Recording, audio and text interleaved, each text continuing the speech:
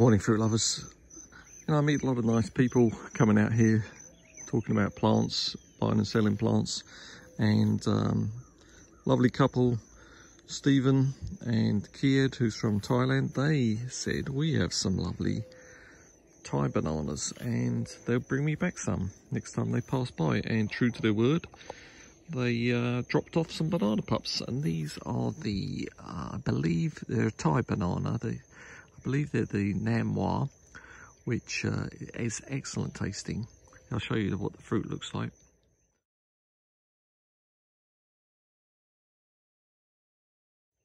I've had these fruit, I had some at Corey's place a year or so back and um, they were great. They're quite a chewy banana, quite dense and um, you can use them for cooking but also they're really tasty like as a, you know, dessert banana.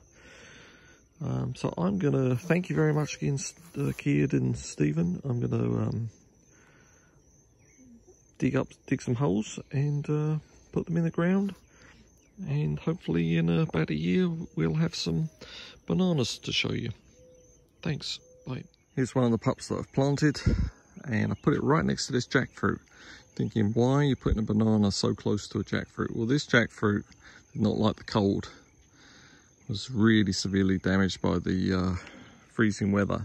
But the banana here will grow up around it and will protect that uh, jackfruit. Hopefully the banana gets big enough before the freeze comes. But we'll see how the uh, banana does and how the jackfruit does.